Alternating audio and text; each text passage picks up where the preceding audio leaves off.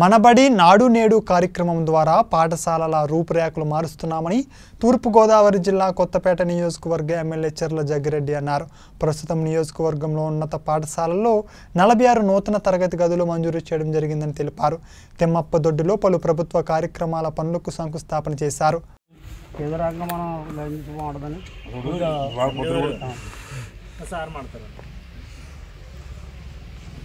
గారు అదే మొన్న ఈ తిమ్మప్పతోటి స్కూల్ ఇబ్బంది ఉందని చెప్పి నేను మంత్రి గారి దగ్గరికి చెప్పి డిఈఓతో మా డిఈఓతో మీకు మాట ఇచ్చాను కదండి.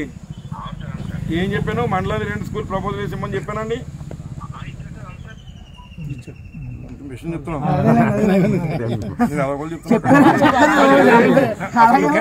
అసలు పట్టించుకున్నావా అని చెప్పి అన్నాడు. ఏమండి?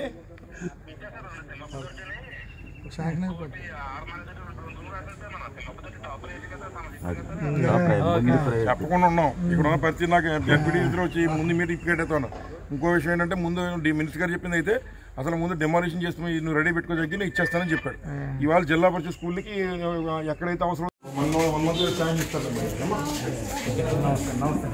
ఇది ఒకటి